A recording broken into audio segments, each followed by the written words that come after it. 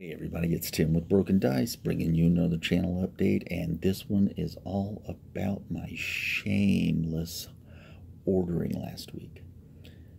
Um, I know I'm not the first one to do this, just to sit around and think, that's a capital idea. I really need those guys, and I think that's what I'm going to do. I'm going to order those. So what I did, I was look. I've been looking. Let's start from the beginning. This is what I was originally looking for. Some Greek archers from Victrix, just to go along with my Greek army. And well, it turned into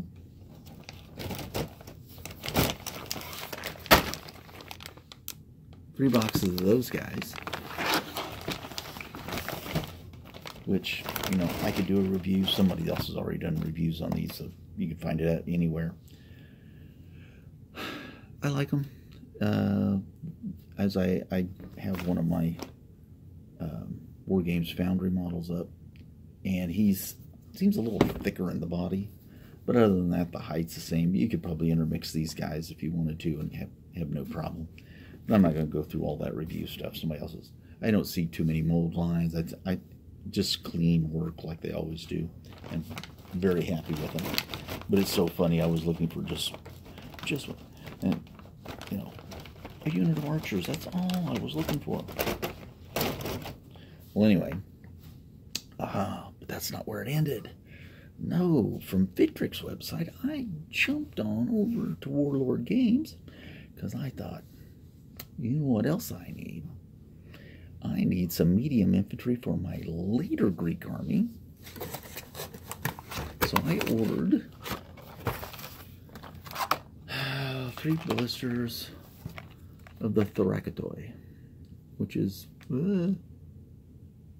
don't know if you can see that or not. That'll, well, anyway. Three blisters of the regular, I have one blister of command for them. Eight in a blister. So there you go. Ah, well, I know, I know. My shame only deepens. And somewhere along the line, I thought a capital idea. I needed more bases. I personally thought I ordered 40s. It's, I got cavalry. Maybe I pushed the wrong button, but it's not like I can't find a use for them. And then it didn't end there either. I thought, well, well, if I did that, I might as well buy some new rule books on that. So, for, so for, from Warlord, I hopped on over to Osprey's website, and I bought Men of Bronze,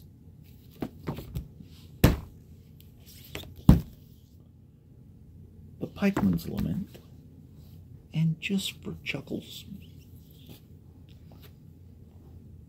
Dragon Rampant. Now, I have a thing for rule books. I don't know if anybody else does. I'm sure they do. It's a great part of our hobby. And I always like it because it gives me uh, insight into the way people are thinking about gaming. And it's kind of a, a a window into the author of the game rather than the game itself. So you can read through it, okay, this is how this operates, that's how that operates. But then you need to step back and look at it and go, ask yourself the basic stuff the who, the what, the when, the where, the why, the how. You know, ask yourself some questions and then you start going through and finding answers in the book about, well, why that in that position? Why that in that that part of the book and not here. As, you know, it, look at it as if you're trying to understand the author as opposed to just understanding another rule book. And then from some more research, I got another book, Macedonian Phalangites versus the Persian Warrior. We all know how that story turned out. Okay, very last thing. I want to ask the question as I was making my purchases and stuff, and I was thinking about all the things I would love to have. Um,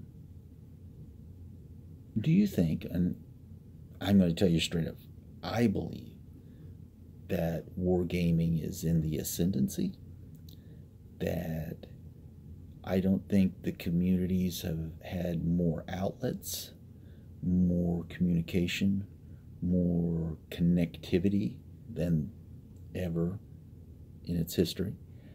Um, I find it invigorating to watch other people's videos and watch how how they paint and, and, and just the wonderful way they paint and the number of models that they can they can churn out is is amazing. Um, I'd like to know what other people think. Uh, do you think that we are in some golden age of wargaming? I do, and uh, I'd like to you know somebody else's opinion on the subject. Uh, do you think that there's too many games? Too many options? Are we are we feathering ourselves out too thinly? Uh, I don't know, but I think we're in a great golden age. I just I'm just I'm just thrilled with the direction of the hobby right now, and uh, I hope everybody else is. I'm all I'm all pumped up. Uh, so you guys have a great week. Uh, please subscribe if you haven't subscribed, or please leave a comment. Um, tell me what you think about the, the status of gaming and, uh, and the gaming community as a whole. Um, and I will respond as soon as I can. And I will catch you next week, and hopefully, something will be done. Something will be done on that English Civil War project. See you next time.